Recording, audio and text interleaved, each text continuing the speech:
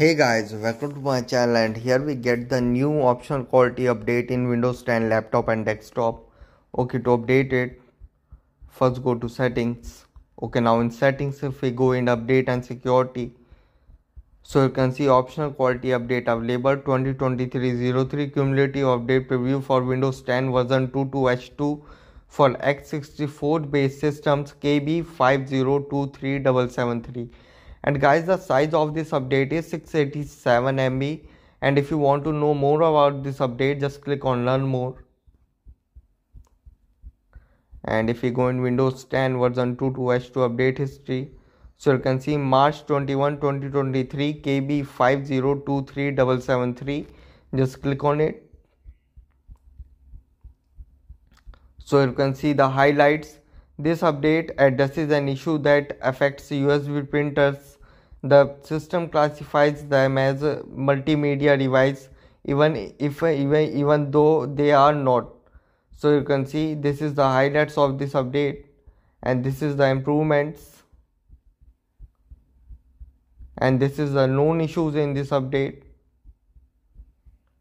This is how to get this update and this is the file information.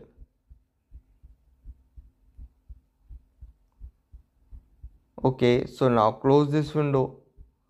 So here you can see guys download and install. Guys when you are ready to download and install this update just click on download and install. So now i'm going to download and install this update. So just click on download and install. And as you can see downloading is start. Guys it might take some time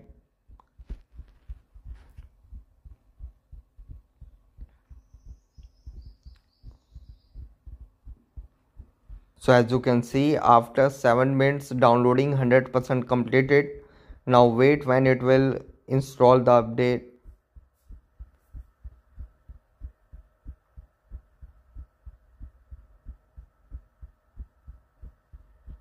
So here you can see after 9 minutes installing start. Guys i would like to say the update process is very laggy. It needs improvement. As you can see installing is going good as you can see. Okay installing 100% completed. Just hope it will not again start from zero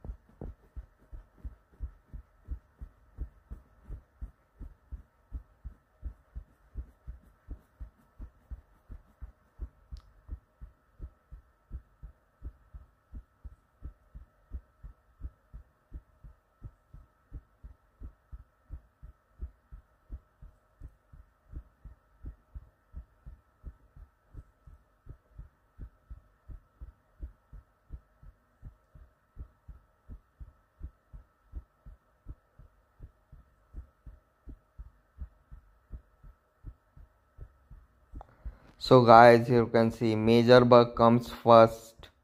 As you can see it is again start from starting as you can see 21 percent. I, I i just want to say that this is the major bug in this uh, update process. Microsoft you need to improve this update. You need to you need to fix this update as soon as possible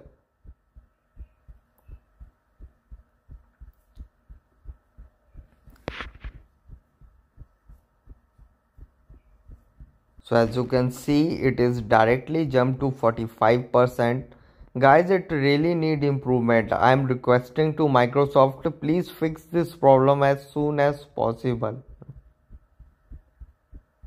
So as you can see directly jumped to 73%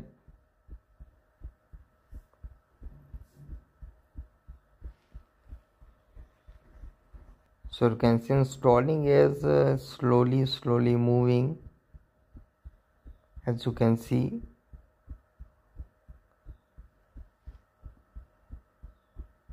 so installing is 100% completed. And finally we get the restart now and schedule the restart option. And guys my final words are it needs improvement. This was not good. It needs really improvement and microsoft you need to fix this as soon as possible. Uh, guys after the restart this update will successfully install and it might take 3 to 5 minutes. Okay guys thanks for watching. If you have any query to this video let me know in comment section below. Please like share subscribe and click on bell icon for the latest updates